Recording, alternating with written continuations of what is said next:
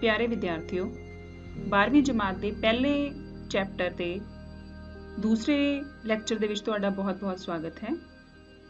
ਆਪਾਂ ਫਾਰਮੈਟ ਦੀ ਸੈਟਿੰਗ ਕਰ ਚੁੱਕੇ ਸੀ, ਜਿਸ ਦੇ ਵਿੱਚ ਆਪਾਂ ਫਾਰਮੈਟਿੰਗ ਦੇ ਵਿੱਚ ਆਪਾਂ ਫੌਂਟ ਦੀ setting font style underline bold italic ਇਹ ਸਭ ਕੁਝ ਕੀਤਾ ਸੀ।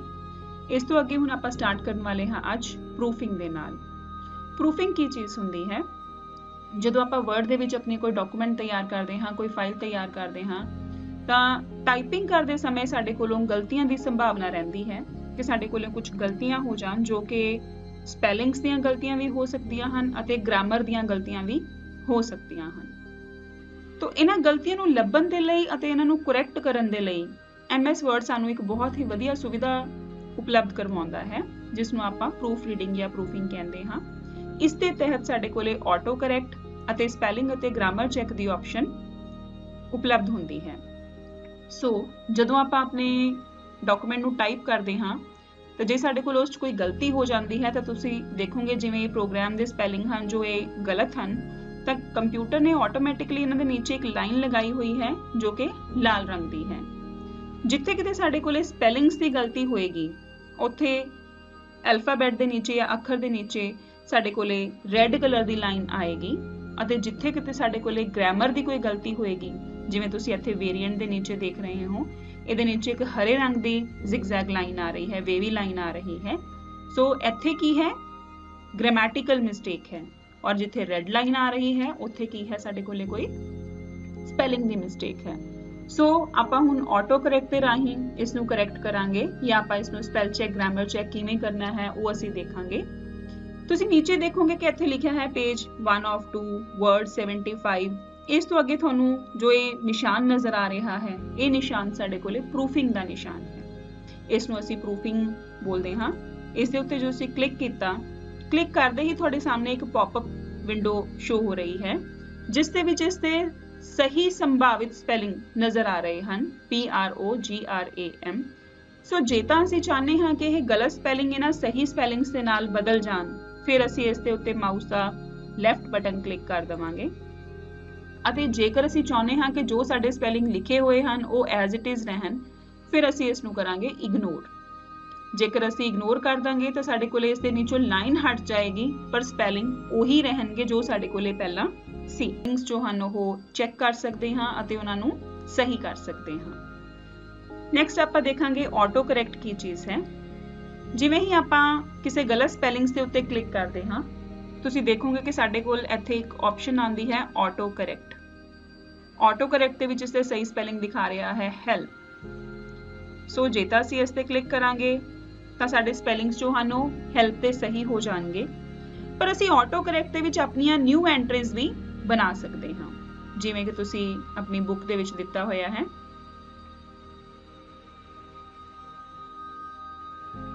ਆਟੋ ਕਰੈਕਟ ਸੂਚੀ ਵਿੱਚ ਐਂਟਰੀ ਕਰਨ ਦੇ ਲਈ।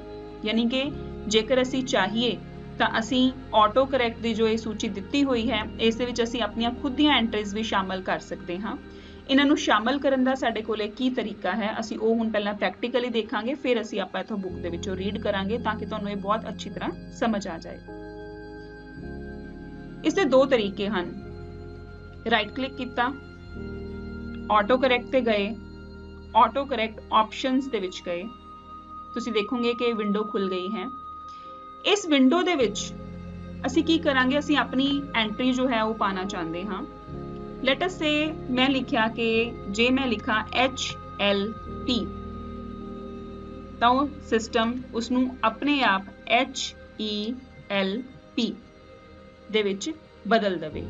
ਸੋ ਇਹ ਉਹ ਗਲਤ ਸਪੈਲਿੰਗ ਹਨ ਜੋ ਟਾਈਪ ਹੋਣ ਤੇ ਇਹ ਉਹ ਸਹੀ ਸਪੈਲਿੰਗ ਹਨ ਜੋ ਉਹਨਾਂ ਨੂੰ ਸਿਸਟਮ ਆਪਣੇ ਆਪ ਸਹੀ ਸਪੈਲਿੰਗਸ ਦੇ ਨਾਲ ਕਨਵਰਟ ਕਰ ਦੇ ਜਾਂ ਚੇਂਜ ਕਰ ਦੇ।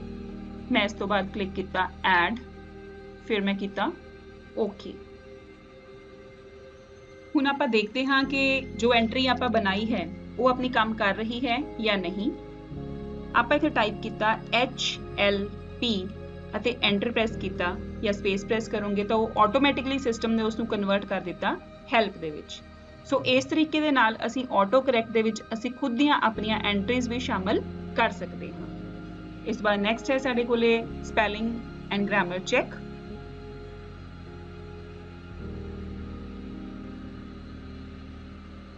spelling and grammar check spelling and grammar check ਸਾਡੇ ਕੋਲੇ ਸਾਨੂੰ ਫੈਸਿਲਿਟੀ ਦਿੰਦੀ ਹੈ ਕਿ ਅਸੀਂ ਆਪਣੇ ਡਾਕੂਮੈਂਟ ਦੇ ਪੂਰੇ ਸਪੈਲਿੰਗਸ ਅਤੇ ਗ੍ਰਾਮਰਸ ਨੂੰ ਚੈੱਕ ਕਰ ਸਕੀਏ। ਗ੍ਰਾਮਰ ਦੀਆਂ ਗਲਤੀਆਂ ਨੂੰ ਜਾਂਚਣ ਦੇ ਲਈ ਅਤੇ ਉਹਨਾਂ ਨੂੰ ਦੂਰ ਕਰਨ ਦੇ ਲਈ ਅਸੀਂ ਇਸ ਆਪਸ਼ਨ ਦੀ ਵਰਤੋਂ ਕਰ ਸਕਦੇ ਹਾਂ। ਮੈਂ ਤੁਹਾਨੂੰ ਆਲਰੇਡੀ ਪਹਿਲਾਂ ਦੱਸਿਆ ਹੈ ਕਿ ਜਿੱਥੇ ਕਿਤੇ ਸਾਡੇ ਕੋਲੇ ਸਪੈਲਿੰਗ ਦੀ ਗਲਤੀ ਹੋਏਗੀ, ਉੱਥੇ ਲਾਲ ਰੰਗ ਦੀ ਵੇਵੀ ਲਾਈਨ ਆਏਗੀ ਅਤੇ ਜਿੱਥੇ ਕਿਤੇ ਸਾਡੇ ਕੋਲੇ ਗ੍ਰਾਮਰ ਦੀ ਗਲਤੀ ਹੋਏਗੀ, ਉੱਥੇ ਸਾਡੇ ਕੋਲੇ ਹਰੇ ਰੰਗ ਦੀ ਵੇਵੀ ਲਾਈਨ ਆਏਗੀ। ਗ੍ਰਾਮਰ ਦੀ ਗਲਤੀ ਸਾਡੇ ਕੋਲੇ ਕੋਮਾ ਦੀ ਫੁੱਲ ਸਟਾਪ ਦੀ ਸਪੇਸ ਦੀ, ਇਹਨਾਂ ਗਲਤੀਆਂ ਨੂੰ ਅਸੀਂ ਗ੍ਰਾਮਰ ਗ੍ਰਾਮੈਟੀਕਲ ਮਿਸਟੇਕਸ ਜਿਹੜੀਆਂ ਹਨ, ਉਹਨਾਂ ਦੇ ਅੰਡਰ ਕੰਸੀਡਰ ਕਰਦੇ ਹਾਂ। ਹੁਣ ਹੈ ਕਿ ਅਸੀਂ ਇਸ ਨੂੰ ਕਿਸ ਤਰ੍ਹਾਂ ਲਾਗੂ ਕਰਨਾ ਹੈ, ਕਿਸ ਤਰ੍ਹਾਂ ਯੂਜ਼ ਕਰਨਾ ਹੈ ਸੋ ਇਸ ਲਈ ਸ਼ਾਰਟਕਟ ਹੈ F7 ਸਿਰਫ ਫੰਕਸ਼ਨ ਕੀ F7 ਦਬਾਨ ਦੇ ਨਾਲ ਸਾਡੇ ਕੋਲੇ ਸਪੈਲਿੰਗ ਐਂਡ ਗ੍ਰਾਮਰ ਦੇ ਜੋ ਵਿੰਡੋ ਹੈ ਉਹ ਅਵੇਲੇਬਲ ਹੋ ਜਾਏਗੀ ਜਾਂ ਦੂਸਰਾ ਤਰੀਕਾ ਸਾਡੇ ਕੋਲੇ ਹੈ ਤੁਸੀਂ ਦੇਖੋਗੇ ਨੰਬਰ 1 ਤੇ ਦਿੱਤਾ ਹੈ ਜਿਸ ਤਰ੍ਹਾਂ ਰਿਬਨ ਤੇ ਰਿਵਿਊ ਟੈਬ ਦੇ ਉੱਤੇ ਕਲਿੱਕ ਕਰਨਾ ਹੈ ਫਿਰ ਅਸੀਂ ਸਪੈਲਿੰਗ ਜਾਂ ਗ੍ਰਾਮਰ ਦੇ ਉੱਤੇ ਕਲਿੱਕ ਕਰਾਂਗੇ ਦੇਖਦੇ ਹਾਂ ਅਸੀਂ ਇਸ ਨੂੰ ਕਿਸ ਤਰ੍ਹਾਂ ਕਰਨਾ ਹੈ ਰਿਵਿਊ ਤੇ ਗਏ ਰਿਵਿਊ ਦੇ ਵਿੱਚੋਂ ਸਾਡੇ ਕੋਲੇ ਪਹਿਲੀ ਆਪਸ਼ਨ ਹੈ ਸਪੈਲਿੰਗ ਐਂਡ ਗ੍ਰਾਮਰ ਚੈੱਕ ਜਿਵੇਂ ਅਸੀਂ ਇਸ ਤੇ ਕਲਿੱਕ ਕਰਦੇ ਹਾਂ, ਤਾਂ ਸਾਡੇ ਕੋਲੇ ਸਾਡਾ ਡਾਕੂਮੈਂਟ ਜੋ ਹੈ, ਉਹ ਇਸ ਵਿੰਡੋ ਦੇ ਵਿੱਚ ਨਜ਼ਰ ਆਣਾ ਸ਼ੁਰੂ ਹੋ ਗਿਆ ਹੈ। ਜਿਵੇਂ ਆਲ ਪ੍ਰੋਗਰਾਮ ਸਾਡੇ ਕੋਲ ਇੱਥੇ ਨਜ਼ਰ ਆ ਰਿਹਾ ਹੈ, ਤਾਂ ਸਾਡੇ ਕੋਲ ਇਸ ਦੇ ਲਈ ਸੁਜੈਸ਼ਨ ਕਿਉਂਕਿ ਗ੍ਰੀਨ ਕਲਰ ਦੇ ਵਿੱਚ ਆ ਰਿਹਾ ਹੈ, that is ਕਿ all ਪ੍ਰੋਗਰਾਮ ਨਹੀਂ, all programs ਤੁਸੀਂ ਨੀਚੇ ਦੀ ਸੁਜੈਸ਼ਨਸ ਦੇ ਵਿੱਚ ਦੇਖੋਗੇ programs, all programs so side ਦੇ ਉੱਤੇ ਕੁਝ ਆਪਸ਼ਨਸ ਆ ਰਹੀਆਂ ਹਨ ignore once change explain et cetera so ਜੇ ਤਾਂ ਅਸੀਂ ਚਾਹੁੰਦੇ ਹਾਂ ਕਿ ਅਸੀਂ all programs ਨਹੀਂ ਕਰਨਾ, ਅਸੀਂ all program ਹੀ ਰੱਖਣਾ ਹੈ, ਫਿਰ ਅਸੀਂ ਇਸ ਨੂੰ ਇਗਨੋਰ ਕਰਾਂਗੇ। ਅਤੇ ਜੇਕਰ ਅਸੀਂ ਚਾਹੁੰਦੇ ਹਾਂ ਕਿ ਇਸ ਨੂੰ all programs ਕਰਨਾ ਹੈ, ਫਿਰ ਅਸੀਂ ਇਸ ਨੂੰ ਚੇਂਜ ਤੇ ਕਲਿੱਕ ਕਰਾਂਗੇ। ਸੋ ਚੇਂਜ ਤੇ ਕਲਿੱਕ ਕਰਨ ਤੋਂ ਬਾਅਦ ਚੇਂਜ ਤੇ ਕਲਿੱਕ ਕਰਨ ਤੋਂ ਬਾਅਦ ਆਪਾਂ ਦੇਖਾਂਗੇ ਕਿ ਜੋ ਪਹਿਲਾ all ਪ੍ਰੋਗਰਾਮ ਲਿਖਿਆ ਹੋਇਆ ਸੀ, ਉਸ ਦੇ ਪਿੱਛੇ s ਆ ਗਿਆ ਹੈ। That ਇਜ਼ all programs ਬਣ ਗਿਆ ਹੈ ਉਹ। ਤੇ ਜੋ ਦੂਸਰੀ ਵਾਰ ਮੈਂ all ਪ੍ਰੋਗਰਾਮ ਲਿਖਿਆ ਹੋਇਆ ਸੀ, ਉਹ ਹੁਣ ਵਿੰਡੋ 'ਚ ਆਣਾ ਸ਼ੁਰੂ ਹੋ ਗਿਆ ਹੈ ਕਿ ਇਸ ਨੂੰ ਅਸੀਂ ਕਨਵਰਟ ਕਰਨਾ ਹੈ ਜਾਂ ਨਹੀਂ। ਸੋ ਜਿਵੇਂ ਜਿਵੇਂ ਅਸੀਂ ਚੇਂਜ ਤੇ ਕਲਿੱਕ ਕਰੀ ਚੱਲਾਂਗੇ ਸਿਸਟਮ ਆਟੋਮੈਟਿਕਲੀ ਉਹਨਾਂ ਨੂੰ ਕਨਵਰਟ ਕਰੀ ਜਾਏਗਾ। ਔਰ ਜੇਕਰ ਅਸੀਂ ਇਸ ਨੂੰ ਕਨਵਰਟ ਨਹੀਂ ਕਰਨਾ ਚਾਹੁੰਦੇ, ਫਿਰ ਅਸੀਂ ਇਸ ਨੂੰ ਕਲਿੱਕ ਕਰਾਂਗੇ। ਇਗਨੋਰ ਦੇ ਉੱਤੇ। ਜੇ ਮੈਂ ਹੁਣ ਇਗਨੋਰ ਦੇ ਉੱਤੇ ਕਲਿੱਕ ਕੀਤਾ ਤਾਂ ਸਿਸਟਮ ਨੇ ਕਨਵਰਟ ਨਹੀਂ ਕੀਤਾ ਔਰ ਜੇਕਰ ਮੈਂ ਚੇਂਜ ਦੇ ਉੱਤੇ ਕਲਿੱਕ ਕੀਤਾ ਤਾਂ ਸਿਸਟਮ ਨੇ ਉਸ ਨੂੰ ਕਨਵਰਟ ਕਰ ਦਿੱਤਾ। ਸੋ ਨੇ ਨੈਕਸਟ ਅਗਲੇ ਡਾਕੂਮੈਂਟ ਦੇ ਵਿੱਚ ਡਾਕੂਮੈਂਟ ਦੇ ਅਗਲੇ ਹਿੱਸੇ ਦੇ ਵਿੱਚ ਉਸਨੇ ਸਪੈਲ ਚੈੱਕ ਕਰਨਾ ਸ਼ੁਰੂ ਕਰ ਦਿੱਤਾ ਹੈ। ਹੈਲਪ ਦੇ ਸਪੈਲਿੰਗ ਗਲਤ ਸਨ। ਤਾਂ ਸਿਸਟਮ ਮੈਨੂੰ ਉਸ ਦੇ ਨੀਚੇ ਸੁਜੈਸ਼ਨਸ ਦੇ ਵਿੱਚ ਕਰੈਕਟ ਸਪੈਲਿੰਗ ਦਿਖਾ ਰਿਹਾ ਹੈ। ਜੇ ਮੈਂ ਇਸ ਨੂੰ ਬਦਲਣਾ ਚਾਹਾਂ ਤਾਂ ਮੈਂ ਚੇਂਜ ਤੇ ਕਲਿੱਕ ਕਰਾਂਗੀ। ਤੁਸੀਂ ਦੇਖੋਗੇ ਕਿ ਮਾਈਕਰੋਸਾਫਟ ਆਫਿਸ ਹੈਲਪ ਦੇ ਸਪੈਲਿੰਗ ਹੁਣ ਸਹੀ ਹੋ ਚੁੱਕੇ ਹਨ। ਤੇ ਹੁਣ ਤੁਸੀਂ ਦੇਖੋਗੇ ਕਿ ਵੇਰੀਐਂਟਸ ਨੂੰ ਗ੍ਰੀਨ ਕਲਰ ਦੇ ਵਿੱਚ ਦਿਖਾ ਰਿਹਾ ਹੈ, ਕਿਉਂਕਿ ਉੱਥੇ ਸਾਡੇ ਕੋਲੇ ਗ੍ਰਾਮੈਟੀਕਲ ਮਿਸਟੇਕ ਹੈ ਕਿ ਅਸੀਂ ਕੋਮਾ ਤੋਂ ਬਾਅਦ ਜੋ ਹੈ ਸਪੇਸ ਜ਼ਿਆਦਾ ਪਾਈ ਹੋਈ ਹੈ ਐਨੀ ਸਪੇਸ ਸਾਡੇ ਕੋਲੇ ਉੱਥੇ ਨਹੀਂ ਹੋਣੀ ਚਾਹੀਦੀ ਸੀ। ਸੋ ਅਸੀਂ ਇਸ ਨੂੰ ਚੇਂਜ ਤੇ ਕਲਿੱਕ ਕਰਾਂਗੇ ਤਾਂ ਤੁਸੀਂ ਦੇਖੋਗੇ ਕਿ ਵਰਡ ਇਸ ਦੀ ਜੋ ਸਪੇਸ ਹੈ ਉਸ ਨੂੰ ਆਟੋਮੈਟਿਕਲੀ ਠੀਕ ਕਰ ਦੇਗਾ ਤੇ ਹੁਣ ਸਾਡੇ ਕੋਲੇ ਮੈਸੇਜ ਆ ਰਿਹਾ ਹੈ, the spelling and grammar check is complete. That means ਕਿ ਹੁਣ ਸਾਡੇ ਡਾਕੂਮੈਂਟ ਦੇ ਵਿੱਚ ਨਾ ਤਾਂ ਕੋਈ ਸਪੈਲਿੰਗਸ ਦੀ ਮਿਸਟੇਕ ਬਚੀ ਹੈ ਤੇ ਨਾ ਹੀ ਕੋਈ ਗ੍ਰਾਮੈਟੀਕਲ ਮਿਸਟੇਕ ਬਚੀ ਹੈ। ਇਸ ਤਰ੍ਹਾਂ ਸਾਡੇ ਕੋਲ ਸਪੈਲਿੰਗ ਤੇ ਗ੍ਰਾਮਰ ਚੈੱਕ ਕੰਪਲੀਟ ਹੋ ਗਿਆ ਹੈ।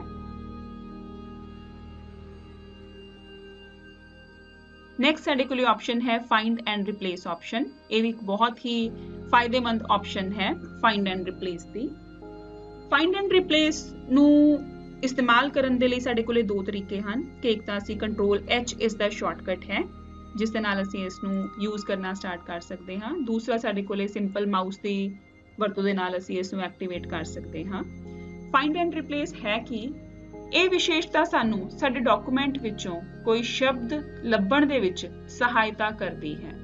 ਕੋਈ ਨਾਮ ਲੱਭਣਾ ਹੈ, ਕੋਈ ਸ਼ਬਦ ਲੱਭਣਾ ਹੈ ਆਪਣੇ ਪੂਰੇ ਡਾਕੂਮੈਂਟ ਦੇ ਵਿੱਚੋਂ, ਤਾਂ ਬਜਾਏ ਇਸ ਦੇ ਕਿ ਅਸੀਂ ਖੁਦ ਉਸ ਪੂਰੇ ਡਾਕੂਮੈਂਟ ਨੂੰ ਪੜ੍ਹ ਕੇ ਅਸੀਂ ਉਸ ਸ਼ਬਦ ਨੂੰ ਲੱਭੀਏ, ਅਸੀਂ ਕੀ ਕਰਾਂਗੇ? ਡਾਕੂਮੈਂਟ ਦੇ ਵਿੱਚ ਅਸੀਂ ਫਾਈਂਡ ਐਂਡ ਰਿਪਲੇਸ ਨੂੰ ਯੂਜ਼ ਕਰਾਂਗੇ। ਫਾਈਂਡ ਦੇ ਵਿੱਚ ਅਸੀਂ ਉਹ ਸ਼ਬਦ ਲਿਖਾਂਗੇ ਜਿਸ ਨੂੰ ਅਸੀਂ ਸਰਚ ਕਰਨਾ ਚਾਹੁੰਦੇ ਹਾਂ, ਲੱਭਣਾ ਚਾਹੁੰਦੇ ਹਾਂ। ਸਾਡੇ ਕੋਲੇ ਦੋ ਦੋ ਤਰ੍ਹਾਂ ਦੀਆਂ ਆਪਸ਼ਨਸ ਜਾਂ ਸਿਚੁਏਸ਼ਨਸ ਹੋ ਸਕਦੀਆਂ ਹਨ ਇਸ ਦੇ ਵਿੱਚ ਕਿ ਜਾਂ ਤਾਂ ਸਿਰਫ ਅਸੀਂ ਉਸ ਨੂੰ ਲੱਭਣਾ ਹੀ ਚਾਹੁੰਦੇ ਹਾਂ ਕਿ ਇਹ ਸ਼ਬਦ ਕਿੱਥੇ ਲਿਖਿਆ ਗਿਆ ਹੈ। ਜਾਂ ਦੂਸਰੀ ਆਪਸ਼ਨ ਇਹ ਹੋ ਸਕਦੀ ਹੈ ਕਿ ਮੈਂ ਉਸ ਨੂੰ ਲੱਭ ਕੇ ਉਸ ਨੂੰ ਬਦਲਣਾ ਹੈ ਕੁਝ ਨਵੇਂ ਸ਼ਬਦ ਦੇ ਨਾਲ। ਉਦਾਹਰਨ ਦੇ ਤੌਰ ਤੇ ਜੇ ਆਪਾਂ ਲਈਏ ਕਿ ਜਿਵੇਂ ਆਪਾਂ ਲੱਭਣਾ ਚਾਹੁੰਦੇ ਹਾਂ ਕਿ ਜਿੱਥੇ ਜਿੱਥੇ ਵੀ ਮੈਂ ਲਿਖਿਆ ਹੈ State Bank of Patiala. Computer ਉਸ ਨੂੰ ਆਪਣੇ ਆਪ ਬਦਲ ਸਟੇਟ ਬੈਂਕ ਆਫ ਇੰਡੀਆ ਦੇ ਨਾਲ। ਕਿਉਂਕਿ ਸਾਰੇ ਹੀ ਜੋ ਬੈਂਕ ਹਨ ਉਹ ਇੰਡੀਆ ਦੇ ਵਿੱਚ ਕਨਵਰਟ ਹੋ ਚੁੱਕੇ ਹਨ। ਸੋ ਮੈਂ ਚਾਹੁੰਦੀ ਹਾਂ ਕਿ ਜਿੱਥੇ ਜਿੱਥੇ ਮੈਂ ਆਪਣੇ ਡਾਕੂਮੈਂਟ ਦੇ ਵਿੱਚ ਸਟੇਟ ਬੈਂਕ ਆਫ ਪਟਿਆਲਾ ਲਿਖਿਆ ਸੀ, ਉੱਥੇ ਉੱਥੇ ਮੇਰੇ ਕੋਲੇ ਸਟੇਟ ਬੈਂਕ ਆਫ ਇੰਡੀਆ ਲਿਖਿਆ ਹੋਇਆ ਆ ਜਾਏ। ਸੋ ਇਹ ਸਾਡੇ ਕੋਲ ਇੱਕ ਐਗਜ਼ਾਮਪਲ ਸੀਗੀ ਕਿ ਜਿਵੇਂ ਆਪਾਂ ਫਾਈਂਡ ਐਂਡ ਰਿਪਲੇਸ ਨੂੰ ਕਿਵੇਂ ਇਸਤੇਮਾਲ ਕਰ ਸਕਦੇ ਹਾਂ। ਹੁਣ ਆਪਾਂ ਇਸ ਦਾ ਪ੍ਰੈਕਟੀਕਲ ਦੇਖਾਂਗੇ।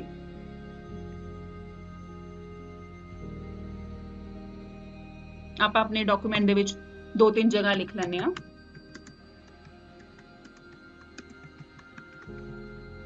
ਜਿਵੇਂ ਮੈਂ ਇੱਥੇ ਲਿਖ ਲਿੱਤਾ, ਫਿਰ ਆਪਾਂ ਕਾਪੀ ਪੇਸਟ ਕਰ ਲੈਂਦੇ ਹਾਂ ਇਸ ਨੂੰ ਇੱਕ ਦੋ ਜਗ੍ਹਾ। ਮੈਂ ਇਹ ਦੋ ਜਗ੍ਹਾ ਲਿਖ ਲਿੱਤਾ State Bank of Patiala so ਮੈਂ ਚਾਹਨੀ ਆ ਕਿ ਕੰਪਿਊਟਰ ਜਿੱਥੇ ਜਿੱਥੇ ਮੈਂ ਸਟੇਟ ਬੈਂਕ ਆਫ ਪਟਿਆਲਾ ਲਿਖਿਆ ਹੈ ਉਸ ਨੂੰ ਸਟੇਟ ਬੈਂਕ ਆਫ ਇੰਡੀਆ ਦੇ ਵਿੱਚ ਬਦਲ ਦੇ ਇਸ ਦੇ ਵਿੱਚ ਦੋ ਆਪਸ਼ਨਸ ਹਨ find but replace with find but ਦੇ ਵਿੱਚ ਅਸੀਂ ਉਹ ਚੀਜ਼ ਲਿਖਣੀ ਹੈ ਜਿਸ ਨੂੰ ਅਸੀਂ ਲੱਭਣਾ ਹੈ। ਸੋ ਬੈਸਟ ਵੇ ਹੈ ਕਿ ਤੁਸੀਂ ਇਸ ਨੂੰ ਆਪਣੇ ਡਾਕੂਮੈਂਟ ਦੇ ਵਿੱਚੋਂ ਵਾਂਸ ਕਾਪੀ ਕਰ ਲਓ। Control C and control V ਫਿਰ ਤੁਸੀਂ ਇੱਥੇ ਉਹ ਚੀਜ਼ ਲਿਖ ਦਿਓ ਜਿਸ ਦੇ ਨਾਲ ਤੁਸੀਂ ਇਸ ਨੂੰ ਬਦਲਣਾ ਚਾਹੁੰਦੇ ਹੋ। ਮੈਂ ਲਿਖਿਆ ਸਟੇਟ ਬੈਂਕ ਆਫ ਇੰਡੀਆ ਸਾਡੇ ਕੋਲ ਇਸ ਦੀਆਂ ਦੋ ਆਪਸ਼ਨਸ ਅਵੇਲੇਬਲ ਹਨ ਰਿਪਲੇਸ ਐਂਡ ਰਿਪਲੇਸ ਆਲ ਜੇ ਅਸੀਂ ਰਿਪਲੇਸ ਤੇ ਕਲਿੱਕ ਕਰਾਂਗੇ ਤਾਂ ਸਿਸਟਮ ਇਸ ਨੂੰ 1 ਬਾਈ 1 ਇੱਕ ਇੱਕ ਕਰਕੇ ਤੁਹਾਡੇ ਤੋਂ ਪੁੱਛ ਕੇ ਇਸ ਨੂੰ ਰਿਪਲੇਸ ਕਰੇਗਾ। ਔਰ ਜੇ ਮੈਂ ਰਿਪਲੇਸ ਆਲ ਤੇ ਕਰ ਦਾਂਗੀ, ਤਾਂ ਸਿਸਟਮ ਜਿੰਨੀ ਵਾਰ ਵੀ ਸਾਡੇ ਡਾਕੂਮੈਂਟ ਦੇ ਵਿੱਚ ਇਹ ਵਰਡ ਲਿਖਿਆ ਗਿਆ ਹੈ ਸਟੇਟ ਬੈਂਕ ਆਫ ਪਟਿਆਲਾ ਇਕੱਠਾ ਹੀ ਉਸ ਨੂੰ ਸਟੇਟ ਬੈਂਕ ਆਫ ਇੰਡੀਆ ਦੇ ਵਿੱਚ ਕਨਵਰਟ ਕਰ ਦੇਗਾ। ਐਗਜ਼ਾਮਪਲ ਮੈਂ ਲਿੱਤਾ replace all word has completed its search of the document and has made two replacements ਕਿਉਂਕਿ ਮੈਂ ਦੋ ਵਾਰ ਲਿਖਿਆ ਸੀ, ਤਾਂ ਉਸਨੇ ਦੋ ਰਿਪਲੇਸਮੈਂਟਸ ਕਰਤੀਆਂ। ਦੈਟ ਮੀਨਸ ਦੋ ਵਾਰੀ ਉਸਨੇ ਉਸ ਨੂੰ ਰਿਪਲੇਸ ਕਰ ਦਿੱਤਾ। ਮੈਂ ਓਕੇ ਕੀਤਾ ਕਲੋਜ਼ ਕੀਤਾ। ਤਾਂ ਹੁਣ ਤੁਸੀਂ ਦੇਖੋਗੇ ਕਿ ਜਿੱਥੇ ਜਿੱਥੇ ਮੈਂ ਲਿਖਿਆ ਸੀ ਸਟੇਟ ਬੈਂਕ ਆਫ ਇੰਡੀਆ ਉਸ ਜਗ੍ਹਾ ਤੇ ਹੁਣ sorry State Bank of Patiala ਮੈਂ ਜਿੱਥੇ ਲਿਖਿਆ ਸੀ ਉਸ ਤੇ ਹੁਣ ਆਟੋਮੈਟਿਕਲੀ ਸਿਸਟਮ ਨੇ ਲਿਖ ਦਿੱਤਾ ਹੈ ਸਟੇਟ ਬੈਂਕ ਆਫ ਇੰਡੀਆ ਇਸ ਦਾ ਯੂਜ਼ ਉੱਥੇ ਸਾਡੇ ਕੋਲ ਜ਼ਿਆਦਾ ਬੈਨੀਫੀਸ਼ੀਅਲ ਹੋ ਜਾਂਦਾ ਹੈ, ਜਿੱਥੇ ਸਾਡੇ ਕੋਲ ਫਾਈਲ ਜੋ ਹੈ ਉਹ ਬਹੁਤ ਵੱਡੀ ਹੈ ਉਸ ਦੇ ਵਿੱਚੋਂ ਕੋਈ ਪਾਰਟਿਕੂਲਰ ਵਰਡ ਲੱਭਣਾ ਮੁਸ਼ਕਿਲ ਹੈ ਔਖਾ ਹੈ ਪੂਰੀ ਫਾਈਲ ਨੂੰ ਪੜ੍ਹ ਕੇ ਉਸ ਵਰਡ ਨੂੰ ਲੱਭਣਾ ਤੇ ਉਸ ਨੂੰ ਰਿਪਲੇਸ ਕਰਨਾ ਜਾਂ ਸਾਨੂੰ ਇਹ ਵੀ ਨਹੀਂ ਪਤਾ ਹੁੰਦਾ ਕਿ ਅਸੀਂ ਇਸ ਵਰਡ ਨੂੰ ਕਿੰਨੀ ਵਾਰ ਇਸਤੇਮਾਲ ਕਰ ਚੁੱਕੇ ਹਾਂ ਆਪਣੀ ਫਾਈਲ ਦੇ ਵਿੱਚ। ਉੱਥੇ ਅਸੀਂ ਇਸ ਆਪਸ਼ਨ ਦੇ ਨਾਲ ਈਜ਼ੀਲੀ ਆਪਣੀ ਫਾਈਲ ਦੇ ਵਿੱਚੋਂ ਕੁਝ ਵਰਡਸ ਨੂੰ ਲੱਭ ਕੇ ਉਹਨਾਂ 'ਚ ਕਰੈਕਸ਼ਨ ਕਰ ਸਕਦੇ ਹਾਂ ਜਾਂ ਉਹਨਾਂ ਨੂੰ ਕਿਸੇ ਹੋਰ ਉਸ ਦੇ ਨਾਲ ਵਰਡ ਦੇ ਨਾਲ ਰਿਪਲੇਸ ਕਰ ਸਕਦੇ ਹਾਂ।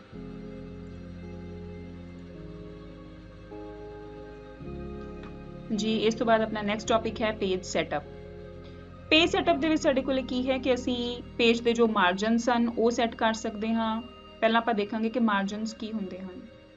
ਮਾਰਜਨ ਸਾਡੇ ਕੋਲੇ ਹੁੰਦੇ ਹਨ ਕਿ ਜਿਸ ਤਰ੍ਹਾਂ ਤੁਸੀਂ ਆਪਣੀ ਇਹ ਬੁੱਕ ਦੇਖ ਰਹੇ ਹੋ, ਇਸ ਬੁੱਕ ਦੇ ਇਸ ਸਾਈਡ ਦੇ ਉੱਤੇ ਆ ਕੁਝ ਖਾਲੀ ਸਪੇਸ ਆ ਰਹੀ ਹੈ। ਇਸੇ ਤਰ੍ਹਾਂ ਟੌਪ ਦੇ ਉੱਤੇ ਕੁਝ ਖਾਲੀ ਸਪੇਸ ਹੁੰਦੀ ਹੈ ਕੁਝ ਬਾਟਮ ਦੇ ਉੱਤੇ ਖਾਲੀ ਸਪੇਸ ਹੁੰਦੀ ਹੈ। ਇਹਨਾਂ ਨੂੰ ਅਸੀਂ ਮਾਰਜਨਸ ਕਹਿੰਦੇ ਹਾਂ। ਮਾਰਜਨ ਸਾਡੇ ਕੋਲੇ top margin left margin right margin bottom margin ਅਤੇ ਗਟਰ ਮਾਰਜਨ ਹੁੰਦੇ ਹਨ। ਇਹਨਾਂ ਦੀ ਸੈਟਿੰਗ ਕਰਕੇ ਅਸੀਂ ਸਿਸਟਮ ਦੇ ਵਿੱਚ ਇਹ ਚੀਜ਼ ਡਿਫਾਈਨ ਕਰ ਸਕਦੇ ਹਾਂ ਕਿ ਅਸੀਂ ਆਪਣੇ ਡਾਕੂਮੈਂਟ ਦੇ ਵਿੱਚ ਪੇਜ ਦਾ ਕਿੰਨਾ ਹਿੱਸਾ ਇਸਤੇਮਾਲ ਕਰਨਾ ਹੈ ਤੇ ਸਾਈਡਾਂ ਦੇ ਉੱਤੇ ਕਿੰਨਾ ਹਿੱਸਾ ਅਸੀਂ ਉਸ ਦਾ ਖਾਲੀ ਛੱਡਣਾ ਚਾਹੁੰਦੇ ਹਾਂ। ਸੋ ਪੇਜ ਸੈਟਅਪ ਸਾਡੇ ਕੋਲੇ ਪਹਿਲਾਂ ਅਸੀਂ ਇਹ ਡਿਸਕਸ ਕਰਦੇ ਹਾਂ ਕਿ ਪੇਜ ਸੈਟਅਪ ਸਾਡੇ ਕੋਲੇ ਹੁੰਦਾ ਕਿੱਥੇ ਹੈ। ਪੇਜ ਸੈਟਅਪ ਗਰੁੱਪ ਵਿੱਚ ਪੇਜ ਲੇਆਊਟ ਬਟਨ ਜੋ ਹੈ ਉਹ ਉਪਲਬਧ ਹੁੰਦਾ ਹੈ ਸਾਡੇ ਕੋਲ। ਇਸ ਦੇ ਉੱਤੇ ਕਲਿੱਕ ਕਰਕੇ ਅਸੀਂ ਆਪਣੀਆਂ ਜੋ ਪੇਜ ਸੈਟਅਪ ਦੀਆਂ ਆਪਸ਼ਨਸ ਹਨ ਉਹਨਾਂ ਨੂੰ ਅਸੀਂ ਦੇਖ ਸਕਦੇ ਹਾਂ ਇਸ ਤਰ੍ਹਾਂ ਦੀ ਵਿੰਡੋ ਤੁਹਾਡੇ ਕੋਲ ਨਜ਼ਰ ਆਏਗੀ ਜੋ ਤੁਹਾਡੇ ਕੋਲ ਇਸ ਟਾਈਮ ਸਾਈਡ ਤੇ ਦਿੱਤੀ ਹੋਈ ਹੈ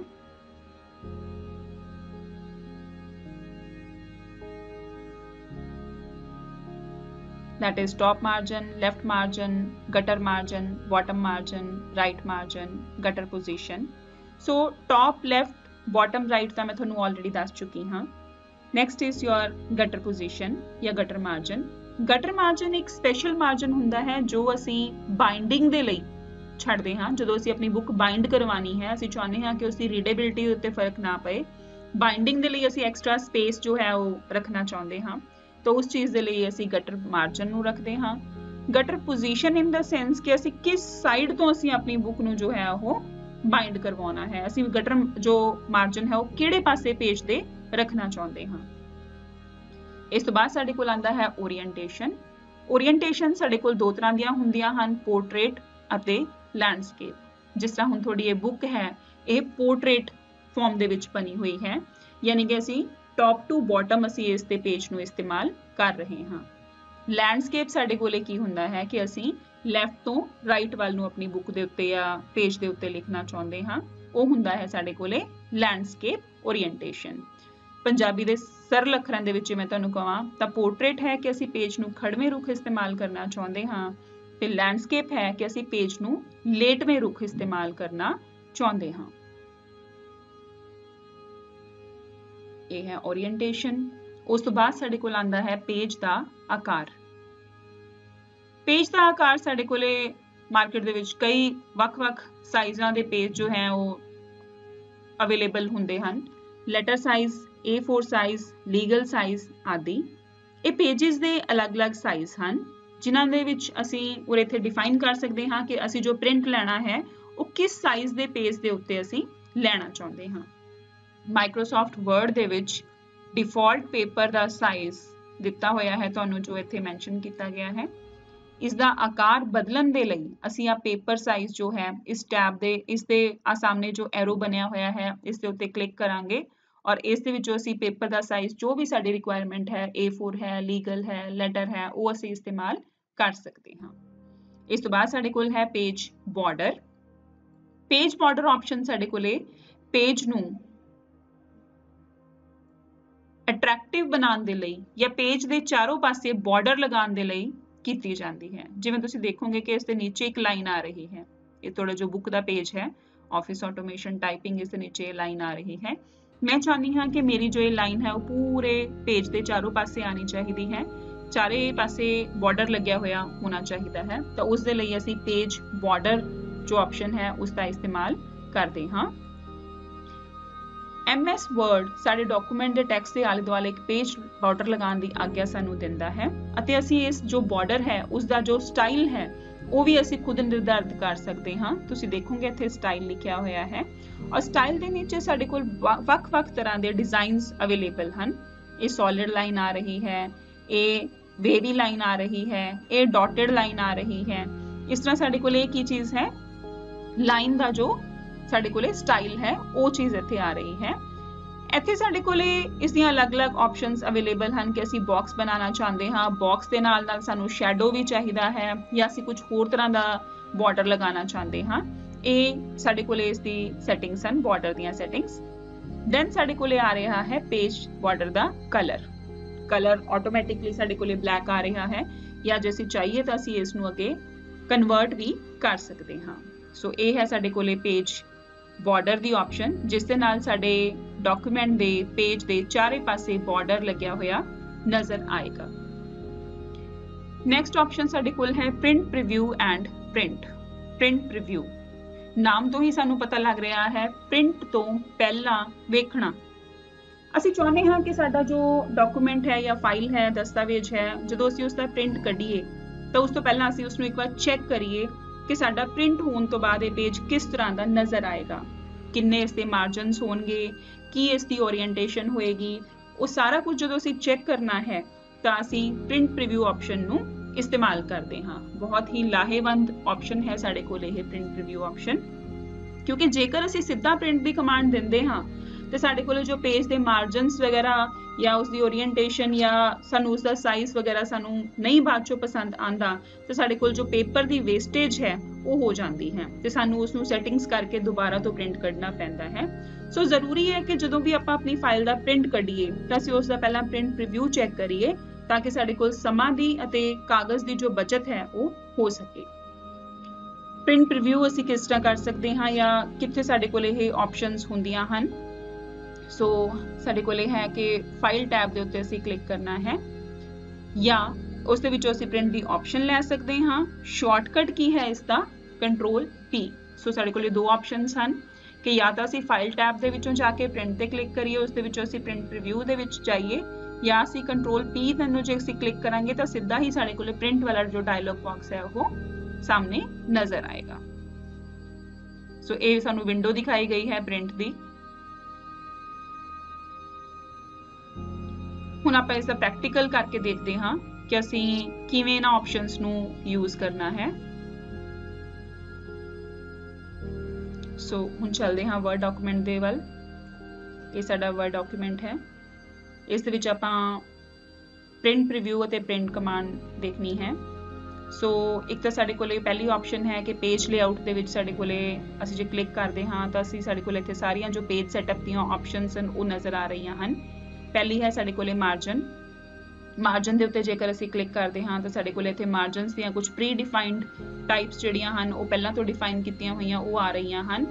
ਇਸ ਵਿੱਚ ਹੈ ਕਿ ਟੌਪ ਜੋ ਹੋਏਗਾ ਉਹ ਸਾਡੇ ਕੋਲ 0 ਸੈਂਟੀਮੀਟਰ ਬਾਟਮ 0 ਸੈਂਟੀਮੀਟਰ ਲੈਫਟ ਦੇ ਉੱਤੇ ਇੰਨਾ ਇੰਨਾ ਸੈਂਟੀਮੀਟਰਸ ਇਹ ਇਸ ਦੇ ਵਿੱਚ ਵੱਖ-ਵੱਖ ਤਰ੍ਹਾਂ ਦੀਆਂ ਸੈਟਿੰਗਸ ਹਨ ਜੋ ਸਾਡੇ ਕੋਲ ਨਜ਼ਰ ਆ ਰਹੀਆਂ ਹਨ। ਪਰ ਜੇਕਰ ਇਹ ਸੈਟਿੰਗ ਸਾਨੂੰ ਨਹੀਂ ਚਾਹੀਦੀਆਂ, ਤੁਸੀਂ ਨੀਚੇ ਦੇਖੋਗੇ ਕਸਟਮ ਮਾਰਜਨ ਦੀ ਸਾਡੇ ਕੋਲ ਆਪਸ਼ਨ ਹੈ। ਕਸਟਮ ਮਾਰਜਨ ਤੇ ਜੇ ਮੈਂ ਕਲਿੱਕ ਕੀਤਾ ਤਾਂ ਸਿਸਟਮ ਮੈਨੂੰ ਇੱਥੇ ਆਪਸ਼ਨ ਦਿੰਦਾ ਹੈ ਕਿ ਮੈਂ ਆਪਣੇ ਹਿਸਾਬ ਦੇ ਨਾਲ ਆ ਦੇਖੋ ਮੈਂ ਟੌਪ ਮਾਰਜਨ ਜੋ ਹੈ ਉਹ ਕੱਟ ਕਰ ਦਿੱਤਾ 1 ਕਰ ਲਿੱਤਾ। ਬਾਟਮ ਮਾਰਜਨ ਜੋ ਹੈ ਮੈਂ ਉਹ ਵੀ ਕੱਟ ਕਰ ਲਿਆ।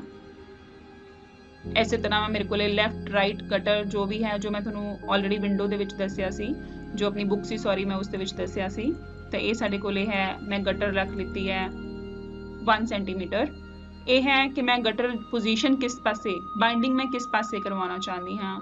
ਲੈਫਟ ਟਾਪ ਰਾਈਟ ਕਿਸ ਸਾਈਡ ਅਸੀਂ ਬਾਈਂਡਿੰਗ ਕਰਵਾਉਣਾ ਚਾਹੁੰਦੇ ਹਾਂ, ਤਾਂ ਇਹ ਸਾਡੇ ਕੋਲੇ ਅਸੀਂ ਇਸ ਨੂੰ ਲੈਟ ਅਸ ਸੇ ਲੈਫਟ ਕਰ ਲਿੱਤਾ। ਉਸ ਤੋਂ ਬਾਅਦ ਸਾਡੇ ਕੋਲ ਆ ਗਈ ਹੈ ਪੇਜ ਓਰੀਐਂਟੇਸ਼ਨ ਅਸੀਂ ਚਾਹੀਏ ਤਾਂ ਅਸੀਂ ਇਸ ਨੂੰ ਇੱਥੋਂ ਵੀ ਕਲਿੱਕ ਕਰ ਸਕਦੇ ਹਾਂ ਜਾਂ ਇੱਥੇ ਸਾਡੇ ਕੋਲ ਵੀ ਓਰੀਐਂਟੇਸ਼ਨ ਦੀ ਜੋ ਆਪਸ਼ਨ ਹੈ ਉਹ ਆ ਰਹੀ ਹੈ।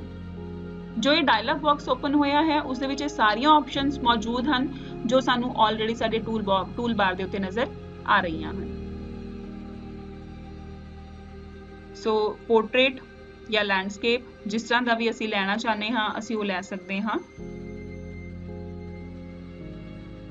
ये साढ़े को प्रिव्यू किस तरह देखना चाहते हो तुम दो पेजिज एक समा से हूँ जिमें इस देखोगे, मैं दो पेजिज एक टाइम पर देख रही हाँ। तो जो ये डॉटेड लाइन इतने आ रही है this is your gutter position ये थोड़ा जो है वो गटर मार्जन है, जो असी बाइंडिंग परपज के लिए छड़िया है। इस तो बाद है ਕਿ ਇਸ ਨੂੰ ਸਿਰਫ ਪੂਰੇ ਡਾਕੂਮੈਂਟ ਨੂੰ ਹੀ ਲਗਾਉਣਾ ਹੈ ਜਾਂ ਜਿੱਥੇ ਸਾਡਾ ਹੁਣ ਕਰਸਰ ਹੈ ਜਾਂ ਜੋ ਸਾਡੀ ਕਰੰਟ ਪੋਜੀਸ਼ਨ ਹੈ, ਉਸ ਤੋਂ ਅੱਗੇ ਅਸੀਂ ਇਸ ਚੀਜ਼ ਨੂੰ ਲਗਾਉਣਾ ਚਾਹੁੰਦੇ ਹਾਂ। ਲੈਟ ਅਸ ਸੇ ਮੈਂ ਪੂਰੀ ਦੀ ਪੂਰੀ ਆਪਣੀ ਫਾਈਲ ਨੂੰ, ਇਹ ਪੂਰੀ ਸੈਟਿੰਗਸ ਜੋ ਹੈ ਉਹ ਲਗਾਉਣਾ ਚਾਹੁੰਦੀ ਹਾਂ। ਇਸ ਦੇ ਉੱਤੇ ਕਲਿੱਕ ਕਰਾਂਗੇ ਅਤੇ ਫਿਰ ਅਸੀਂ ਇਸ ਨੂੰ ਓਕੇ ਕਰ ਦੇਵਾਂਗੇ। ਇਸ ਦੇ ਨਾਲ ਸਾਡਾ ਜੋ ਪੇਜ ਸੈਟਅਪ ਹੈ ਉਹ ਹੋ ਜਾਏਗਾ। ਇਸੇ ਤਰ੍ਹਾਂ ਅਸੀਂ ਓਰੀਐਂਟੇਸ਼ਨ ਦੀ ਤੁਸੀਂ ਦੇਖੋਗੇ, ਇੱਥੇ ਆਪਸ਼ਨ ਆ ਰਹੀ ਹੈ। ਆ ਸਾਈਜ਼ ਦੀ ਆ ਰਹੀ ਹੈ ਲੈਟਰ ਹੈ ਲੀਗਲ ਹੈ A4 ਹੈ A5 ਹੈ, ਜੋ ਵੀ ਤੁਹਾਡੀ ਰਿਕੁਆਇਰਮੈਂਟ ਹੈ ਤੁਸੀਂ ਇੱਥੋਂ ਚੂਜ਼ ਕਰ ਸਕਦੇ ਹੋ। ਸੋ ਇਹ ਸਾਡੇ ਕੋਲੇ ਕੀ ਹੈ? ਪੇਜ ਲੇਆਊਟ ਦੀਆਂ ਆਪਸ਼ਨਸ ਅਤੇ ਜਦੋਂ ਅਸੀਂ ਇਸ ਦਾ ਪ੍ਰਿੰਟ ਕੱਢਣਾ ਚਾਹੁੰਦੇ ਹਾਂ, ਹੁਣ ਅਸੀਂ ਸੈਟਿੰਗ ਤਾਂ ਕਰ ਲਿੱਤੀ। ਪੇਜ ਅਸੀਂ ਆਪਣਾ ਸੈੱਟ ਕਰ ਚੁੱਕੇ ਹਾਂ, ਹੁਣ ਅਸੀਂ ਇਸ ਦਾ ਪ੍ਰਿੰਟ ਕੱਢਣਾ ਚਾਹੁੰਦੇ ਹਾਂ। ਤਾਂ ਅਸੀਂ ਜਾਂ ਤਾਂ ਕੀਬੋਰਡ ਤੋਂ ਸਿੱਧਾ ਕੰਟਰੋਲ P ਪ੍ਰੈਸ ਕਰ ਦਾਂਗੇ। ਸੋ ਇਹ ਸਾਡੇ ਕੋਲੇ ਪ੍ਰਿੰਟ ਦੀ ਆਪਸ਼ਨ ਆ ਗਈ ਹੈ। ਅਸੀਂ ਇਸ ਤੋਂ ਆਪਣੀ ਸੈਟਿੰਗਸ ਇੱਕ ਵਾਰ ਚੈੱਕ ਕਰਕੇ ਅਸੀਂ ਓਕੇ ਤੇ ਕਲਿੱਕ ਕਰਾਂਗੇ ਔਰ ਜੇ ਸਾਡੇ ਸਿਸਟਮ ਦੇ ਨਾਲ ਪ੍ਰਿੰਟਰ ਅਟੈਚ ਹੈ, ਤਾਂ ਸਾਡੇ ਕੋਲ ਉਸ ਦਾ ਪ੍ਰਿੰਟ ਆ ਜਾਏਗਾ। ਸੋ ਇਹ ਮੈਂ ਤੁਹਾਨੂੰ ਸ਼ਾਰਟਕਟ ਤਰੀਕਾ ਦੱਸਿਆ। ਕੰਟਰੋਲ ਪਲੱਸ P ਸੈਕਿੰਡ ਤਰੀਕਾ ਹੈ ਫਾਈਲ 'ਚ ਜਾਓ ਪ੍ਰਿੰਟ 'ਚ ਜਾਓ। ਇੱਥੇ ਤੁਸੀਂ ਦੇਖੋਗੇ ਇਹ ਪ੍ਰਿੰਟ ਪ੍ਰੀਵਿਊ ਪਿਆ ਹੈ ਔਰ ਇਹ ਟਾਪ ਦੇ ਉੱਤੇ ਸਾਡੇ ਕੋਲ ਕੀ ਆ ਰਿਹਾ ਹੈ ਪ੍ਰਿੰਟ ਦੀ ਕਮਾਂਡ ਆ ਰਹੀ ਹੈ। ਸੋ ਅਸੀਂ ਦੋਨੋਂ ਤਰੀਕਿਆਂ ਦੇ ਰਾਹੀਂ ਸ਼ਾਰਟਕਟ ਤਰੀਕੇ ਦੇ ਰਾਹੀਂ ਵੀ ਪ੍ਰਿੰਟ ਲੈ ਸਕਦੇ ਹਾਂ ਜਾਂ ਅਸੀਂ ਫਾਈਲ ਮੈਨੂ ਦੇ ਵਿੱਚੋਂ ਜਾ ਕੇ ਵੀ ਆਪਣੇ ਡਾਕੂਮੈਂਟ ਦਾ ਜੋ ਪ੍ਰਿੰਟ ਹੈ ਉਹ ਲੈ ਸਕਦੇ ਹਾਂ। ਸੋ ਇਹ ਸੀ ਸਾਡੇ ਕੋਲੇ ਪ੍ਰਿੰਟ ਅਤੇ ਪ੍ਰਿੰਟ ਪ੍ਰੀਵਿਊ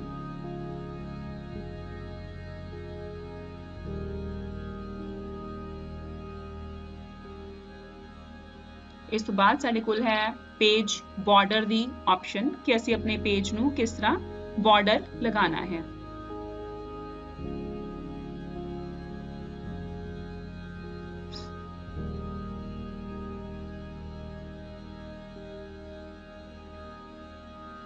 ਹਾਂਜੀ, ਹੁਣ ਤੁਸੀਂ ਦੇਖੋਗੇ ਪੇਜ ਲੇਆਊਟ ਦੇ ਉੱਤੇ ਹੀ ਅਸੀਂ ਕਲਿੱਕ ਕੀਤਾ ਹੋਇਆ ਹੈ। ਤੇ ਸਾਡੇ ਕੋਲੇ ਇੱਥੇ ਆਪਸ਼ਨ ਪਈ ਹੈ ਪੇਜ ਬਾਰਡਰ ਦੀ। ਅਸੀਂ ਜਿਵੇਂ ਹੀ ਪੇਜ ਬਾਰਡਰ ਦੇ ਉੱਤੇ ਕਲਿੱਕ ਕੀਤਾ, ਇਹ ਵਿੰਡੋ ਸਾਡੇ ਕੋਲੇ ਓਪਨ ਹੋ ਗਈ ਹੈ। ਜਿਵੇਂ ਤੁਹਾਨੂੰ ਦੱਸਿਆ ਸੀ ਕਿ ਸਟਾਈਲਸ ਆ ਰਹੇ ਹਨ, ਤੁਸੀਂ ਐਰੋ ਤੇ ਕਲਿੱਕ ਕਰਕੇ ਹੋਰ ਵੀ ਇਸ ਦੇ ਜੋ ਸਟਾਈਲਸ ਹਨ ਅਵੇਲੇਬਲ ਉਹ ਦੇਖ ਸਕਦੇ ਹੋ। ਲੈਟ ਅਸ ਸੇ ਮੈਂ ਇਹ ਸਟਾਈਲ ਚੂਜ਼ ਕਰ ਲਿੱਤਾ। ਬਾਕਸ ਲੈਣਾ ਹੈ ਜਾਂ ਸ਼ੈਡੋ ਲੈਣਾ ਹੈ। ਕਲਰ ਤੁਸੀਂ ਜੋ ਚੂਜ਼ ਕਰਨਾ ਹੈ, ਉਹ ਚੂਜ਼ ਕਰ ਸਕਦੇ ਹੋ। ਸੋ ਇਸ ਦੀ ਵਿਡਥ ਹੈ ਕਿ ਕਿੰਨੀ ਵਿਡਥ ਆ ਰਹੀ ਹੈ। ਆਰਟ ਦੇ ਵਿੱਚ ਸਾਡੇ ਕੋਲੇ ਕੁਝ ਮੋਡੀਫਾਈਡ ਬਾਰਡਰਸ ਪਏ ਹੁੰਦੇ ਹਨ, ਜਿਨ੍ਹਾਂ ਦਾ ਇਸਤੇਮਾਲ ਅਸੀਂ ਕਰ ਸਕਦੇ ਹਾਂ। ਬਟ ਇਹ ਜੋ ਹੈ, ਸਾਡੀ ਫਾਈਲ ਦੀ ਫਰਸਟ ਪੇਜ ਜਾਂ ਇੰਟਰੋਡਕਟਰੀ ਪੇਜ ਦੇ ਤੌਰ ਤੇ ਤਾਂ ਇਸਤੇਮਾਲ ਹੋ ਸਕਦੇ ਹਨ but throughout the file ਅਸੀਂ ਇਸ ਨੂੰ ਇਸਤੇਮਾਲ ਘੱਟ ਹੀ ਕਰਦੇ ਹਾਂ। ਸੋ ਮੈਂ ਇਹ ਜੋ ਸੈਟਿੰਗਸ ਹਨ, ਉਹ ਸਾਰੀਆਂ ਆਪਣੇ ਅਕੋਰਡਿੰਗਲੀ ਚੇਂਜ ਕਰ ਲਿੱਤੀਆਂ। ਔਰ ਹੈ apply to whole whole document this section first page only ਜੋ ਵੀ ਤੁਹਾਡੀ ਰਿਕੁਆਇਰਮੈਂਟ ਹੈ ਕਿ ਪੂਰੀ ਫਾਈਲ ਨੂੰ ਲਗਾਉਣਾ ਹੈ, ਸਿਰਫ ਇੱਕ ਪੇਜ ਨੂੰ ਲਗਾਉਣਾ ਹੈ ਜਾਂ ਸਿਰਫ ਪਹਿਲੇ ਪੇਜ ਨੂੰ ਲਗਾਉਣਾ ਹੈ, ਉਹ ਸੈਟਿੰਗਸ ਕਰਨ ਤੋਂ ਬਾਅਦ ਅਸੀਂ ਇਸ ਨੂੰ ਓਕੇ ਕਰਾਂਗੇ। ਜਿਵੇਂ ਹੀ ਮੈਂ ਇਸ ਨੂੰ ਓਕੇ ਕੀਤਾ, ਤਾਂ ਜੋ ਮੈਂ ਕਲਰ ਚੂਜ਼ ਕੀਤਾ ਸੀ, ਮੈਂ ਬਲੂ ਕਲਰ ਚੂਜ਼ ਕੀਤਾ ਸੀ, ਤਾਂ ਇੱਥੇ ਬਲੂ ਕਲਰ ਆ ਗਿਆ ਹੈ। ਜਿਸ ਤਰ੍ਹਾਂ ਦੀ ਮੈਂ ਲਾਈਨ ਸਿਲੈਕਟ ਕੀਤੀ ਸੀ, ਉਸ ਤਰ੍ਹਾਂ ਦੀ ਲਾਈਨ ਸਾਡੇ ਕੋਲ ਇੱਥੇ ਆ ਗਈ ਹੈ। ਮੈਂ ਸ਼ੈਡੋ ਚੂਜ਼ ਕੀਤਾ ਸੀ, ਤਾਂ ਤੁਸੀਂ ਦੇਖੋਗੇ ਕਿ ਰਾਈਟ ਸਾਈਡ ਤੇ ਜੋ ਬਲੈਕ ਲਾਈਨ ਹੈ, ਇਹ ਸ਼ੈਡੋ ਦਾ ਇਫੈਕਟ ਦੇ ਰਹੀ ਹੈ। ਸੋ ਇਹ ਆਪਸ਼ਨ ਹੈ ਸਾਡੇ ਕੋਲੇ ਪੇਜ ਬਾਰਡਰ ਦੀ। ਇਸ ਦੇ ਨਾਲ ਕੀ ਹੈ ਕਿ ਸਾਡੇ ਪੇਜ ਦੇ ਚਾਰੋਂ ਪਾਸੇ ਇੱਕ ਬਾਰਡਰ ਬਣ ਕੇ ਆ ਗਿਆ ਹੈ। ਸੋ ਵਿਦਿਆਰਥੀਓ, ਇਹ ਸੀ ਤੁਹਾਡਾ ਐਮਐਸ ਵਰਡ ਦਾ ਹਿੱਸਾ। ਜਿੰਨਾ ਵੀ ਆਪਾਂ ਸਿਲੇਬਸ ਇਸ ਦੇ ਵਿੱਚ ਪੜਿਆ ਹੈ, ਉਹ ਆਪਾਂ ਨਾਲ ਦੀ ਨਾਲ ਥਿਊਰੀ ਅਤੇ ਨਾਲ ਦੀ ਨਾਲ ਪ੍ਰੈਕਟੀਕਲ ਇਸ ਦੇ ਵਿੱਚ ਅਸੀਂ ਕਵਰ ਕੀਤਾ ਹੈ। ਜੇ ਕਿਸੇ ਨੂੰ ਕੋਈ ਪ੍ਰੋਬਲਮ ਹੁੰਦੀ ਹੈ, ਕੋਈ ਚੀਜ਼ ਨਹੀਂ ਸਮਝ ਆਉਂਦੀ, ਤਾਂ ਮੈਨੂੰ ਤੁਸੀਂ ਕਮੈਂਟ ਸੈਕਸ਼ਨ ਦੇ ਵਿੱਚ ਦੱਸ ਸਕਦੇ ਹੋ। ਇਸ ਤੋਂ ਬਾਅਦ ਆਪਾਂ ਨੈਕਸਟ ਲੈਕਚਰ ਜੋ ਹੈ, ਤੀਸਰਾ ਲੈਕਚਰ ਉਹ ਆਪਾਂ ਲਗਾਵਾਂਗੇ ਐਮਐਸ ਐਕਸਲ ਦਾ। ਲੈਕਚਰ ਜਿਸ ਦੇ ਵਿੱਚ ਆਪਾਂ ਐਮਐਸ ਐਕਸਲ ਨੂੰ ਥਿਊਰੀ ਪਲੱਸ ਪ੍ਰੈਕਟੀਕਲ ਇਹ ਸਾਰੀਆਂ ਚੀਜ਼ਾਂ ਆਪਾਂ ਆਪਣੇ ਵੀਡੀਓ ਦੇ ਵਿੱਚ ਕਵਰ ਕਰਾਂਗੇ। ਧੰਨਵਾਦ।